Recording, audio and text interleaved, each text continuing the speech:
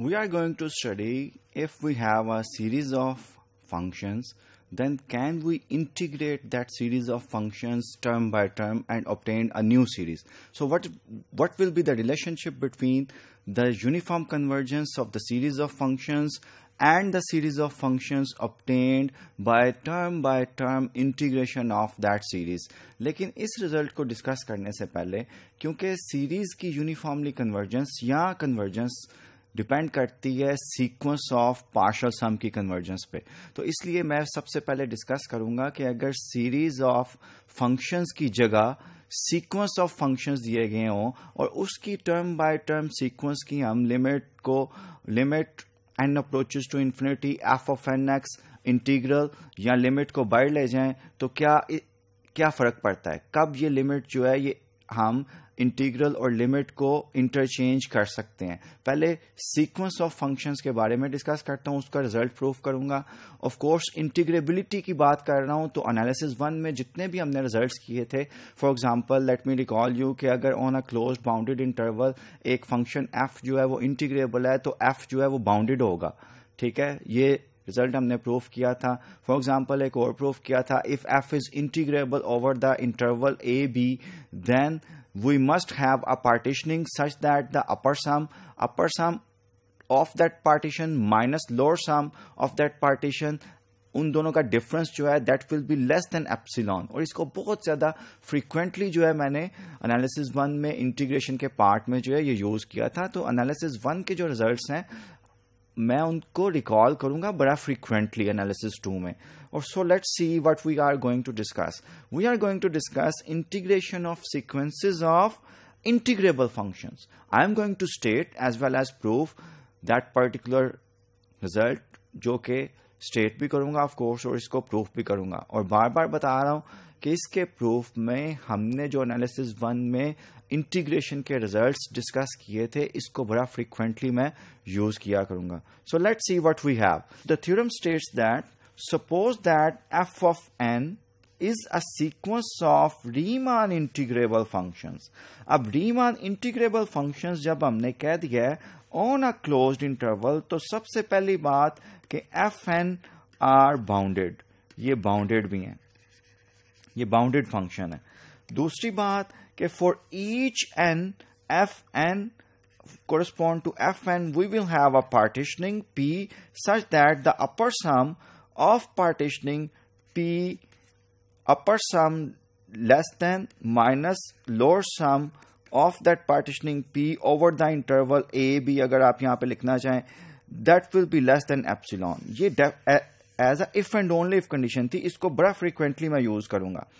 So f n converges furthermore हमें क्या condition दी गई है कि f n converges uniformly uniformly convergent का क्या मतलब है कि for epsilon for every epsilon greater than zero we must have we must have f n minus f Nom over the interval a b equals whenever limit n approaches to infinity. और इसको epsilon और delta में भी मैं लिख सकता हूँ। Epsilon delta में यू नो know कि किस तरह हम लिखते हैं इसे। आपका you should be able to find out a natural number n epsilon which depends upon epsilon only such that f n minus f mod less than epsilon for all n greater than this natural number n. You know all these things just recall करवा रहा हूँ क्योंकि इसके proof में हमने frequently use करना है। Then f is Riemann integrable अगर ये कंडीशन दी गई हो तो हमने साबित क्या करना है? कि एफ़ रीमान इंटीग्रेबल है ऑन ए बी पहली बात। अब रीमान इंटीग्रेबल के लिए मैं क्या साबित करूँगा? फॉर दिस एफ़ अगर मेरे पास कोई अपर सम है over the partitioning p minus lower sum over the partitioning p that will be less than epsilon अगर ये साबित कर देता हूँ तो एफ़ रीमन इंटीग्रेबल साबित हो जाएगा। दूसरी बात मैंने क्या करनी है, ये साबित करने के limit n approaches to infinity जो मैंने पहले ही आपको बात बताई थी कि लिमिट और इंटीग्रल जो है, वो इंटरचेंजेबल है। ये इंटरचेंज होगा, तभी तो हमारे पास ये लिमिट अंदर चली गई और लिमिट ये यूनिफॉर्म कन्वर्जेस टू एफ़ है। तो दिस एफ़ इनफैक्ट ये क्या है?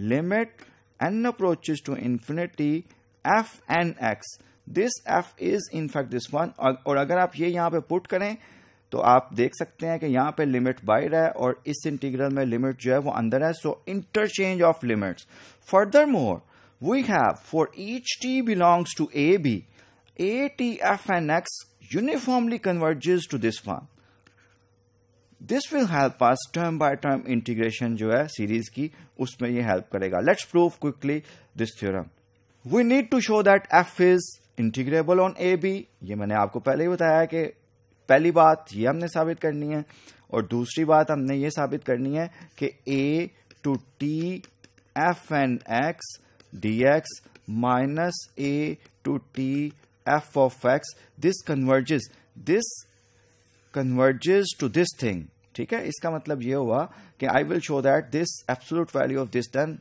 this one is less than epsilon ठीक है? ये रिकॉर्ड ये याद रखिएगा कि मैंने, मेरा ये टारगेट टारगेट है। पहला f is integrable f is integrable और दूसरा मैंने ये शो करना so observe that the following statements are true f n is bounded f n bounded होगा, ये मैंने आपको पहले कहा, क्योंकि एफ़ एन रीमान इंटीग्रेबल है on the closed interval a b और अगर अनबाउंडेड हो तो रीमान इंटीग्रेबिलिटी जो है, वो एग्जिस्ट ही नहीं करती। Because each f n is integrable on a b very nice if f is bounded f is bounded ये किस क्यों है? क्योंकि एफ़ ऑफ़ एक्स को I can write this one f of x को मैं क्या लिख सकता हूँ? मॉड को equals f of x plus f n x minus f n x, ये लिख सकता हूँ। अब इसको मैं ट्राइंगुलर इनक्वायरिटी यूज़ करूँ। F n x minus f of x, ये लिख सकता हूँ। Plus f n x. F n x जो है, ये बाउंडेड है, ये यूनिफॉर्मली कन्वर्जेंट एफ़ एन जो है एफ़ को है. सो दैट विल बी अगर मैं डेल्टा एन ले लू which is the supremum of f n x minus f x so this is ये less than some bounded function हैं हमारी ऑब्जर्वेशन से इससे. और ये b of course limit and approaches to infinity होगा. दैट इज़ ऑल्सो सुप्रीमम जो है that is less than epsilon so f of x is bounded f n is bounded f of x is bounded ये भी हमने देख लिया। Since f n converges uniformly to f of x so for every epsilon uniform की uniformly convergent sequence of functions की definition से there exist an natural number n capital n such that this inequality holds अब ये epsilon over three into b minus a epsilon ये भी choose किया जा सकता है और इसकी रीजन अभी पता चलती है आपको कि why I put in denominator b minus a so f n converges ये सब समराइज किया मैंने कि जो हमें हाइपोथेसिस दिया गया था, उससे क्या क्या चीज़ें हम कंक्लूड कर सकते हैं। ये तीनों चीज़ें कंक्लूड की। अब इन तीनों चीज़ों को जो इंग्रेडिएंट्स मैंने कंक्लूजन्स लिस्ट किए हैं, इन तीनों को मैं यूज़ करूँगा। एफ़ एन इंटीग्रेबल भी दिया गया है। इंटीग्रेबल फ़ंक्शंस जैसे मैंने आपको पहले कहा था कि इंटीग्रेबल फ़ंक्शंस हैं so for every epsilon greater than zero I must have a partition p of a b such that ये अपर सम्स होते हैं। Upper sums of functions f n over the partition p और ये lower sum होते हैं analysis one में हमने discuss किए हुए हैं। एफ़ एन इंटीग्रेबल है तो दिस होल्ड्स और ये मैंने अभी आपको रिकॉल किस तरह कराया था कि upper sum of the functions f minus lower sum over the partition p of f it should be less than epsilon ये इंटीग्रेबिलिटी रीमान इंटीग्रेबिलिटी की if and only if condition है, जो कि एनालिसिस वन में हमने discuss की हुआ है। This is less than epsilon by three this is less than epsilon by three so by definition I use this fact in fact इस fact को, और मुझे पता है कि अगर एफ़ एन इंटीग्रेबल है तो a to b f n x x ये एग्जिस्ट कर रहा है। ये एग्जिस्ट कर रहा होता है तो lower sum lower sums of f n x x ये सब इक्वल होते हैं। और अपर सम्स जो होते हैं, ये भी इक्वल होते हैं। F n x d x अब मुझे पता है लोअर सम्स जो हैं, ये सुप्रीमम होते हैं इसकी। और अपर सम्स जो हैं, ये इन्फिमम होते हैं set of all upper sums की। ये सब बातें आप जेन में रखिएगा। For each x belongs to a b with n capitals n I can write f n x जो है एप्सिलॉन ये जो है यूनिफॉर्म uh, कन्वर्जेंट है converges to f है so I can write this one. This implies that f and x minus अब इसको मैंने ओपन कर रहा हूँ। इट्स नथिंग जस्ट मैंने एब्सोलूट वैल्यू की डेफिनेशन यूज़ करके इसको ओपन कर दिया है। Now I have to do something अब मैं क्या करता हूँ? अब मैं इसका थ्रू आउट इनक्वालिटी का इंटीग्रल ले लेता हूँ। Integral a to b f of x d x ये कांस्टेंट है, यहाँ पे भी इंटीग्रल लूँगा तो डी एक्स ये क्या आएगा? बी माइनस ए आएगा। तो b minus a b minus a से कैंसिल हो जाएगा। I will have a to b f n x dx minus epsilon by 3 less than equals to a to b, f of x less than a to b f n n x dx plus epsilon by three ये मेरे पास ये inequality आएगी। अब मैंने Riemann integrability इसकी show करनी है। मुझे पता है कि upper sums that will be less than और equals to lower sum of F N over the partition P minus epsilon by three I can write this one और that will be equal less than और equal to by supremum और infimum की definition से।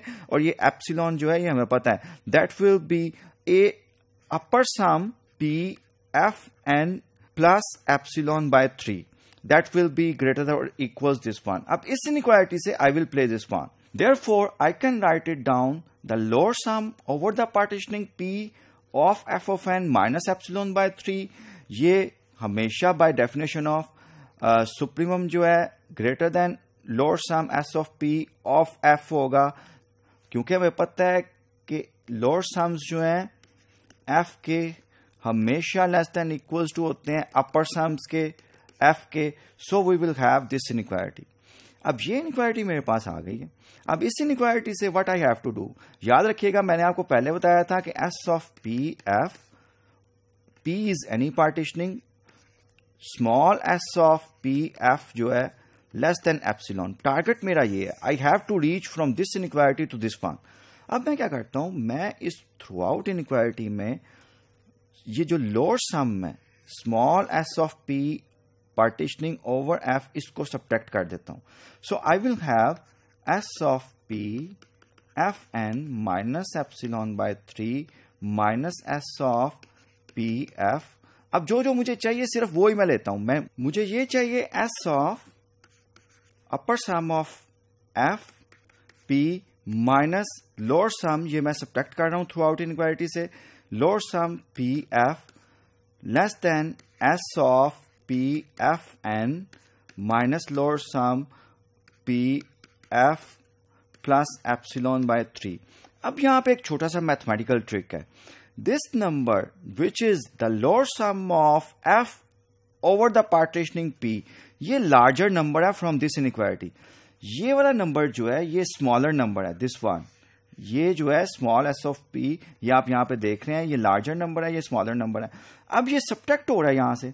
अगर मैं इसको जो है रिप्लेस कर दूँ s of p f n इस नंबर को रिप्लेस करूँ, इस नंबर से which is minus lower sum of f n over the partitioning p और प्लस एप्सिलॉन बाय टू बनेगा प्लस एप्सिलॉन बाय थ्री यहाँ पे epsilon by three plus epsilon by three यहाँ से एप्सिलॉन बाय थ्री आ रहा है, जब माइनस माइनस प्लस साइन हो जाएगा। अब इसका फ़ायदा मुझे क्या हुआ है?